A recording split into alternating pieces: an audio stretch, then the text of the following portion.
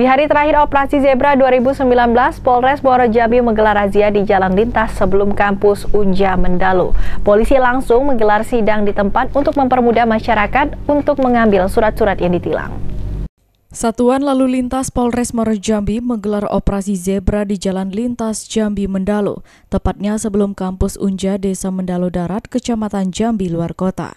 Operasi Zebra dipimpin langsung Kasat Lantas Polres Muaro Jambi Ibtu Yurike Sebanyak 26 personil gabungan baik dari Polres Maro Jambi maupun Polsek Jaluko diterjunkan dalam razia.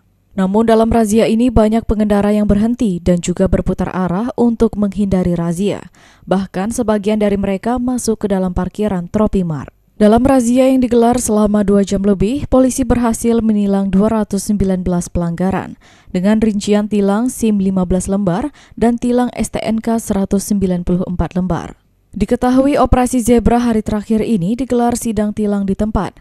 Hal ini dilakukan agar mempermudah masyarakat untuk mengambil surat-surat yang telah ditilang.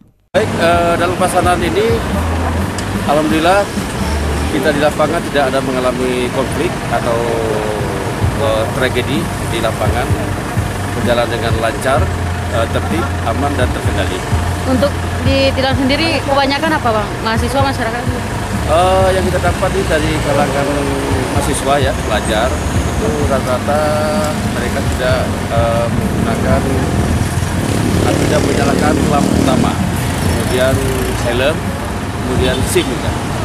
Dan operasi zebra uh, tahun 2019 ini uh, hari ini hari terakhir ya kita laksanakan hari ke-14 uh, yang kita dapatkan jumlah tilang seluruhnya kurang uh, terbagi menjadi SIM ada uh, 25, kemudian STNK 194 dan Ranmor 5 unit.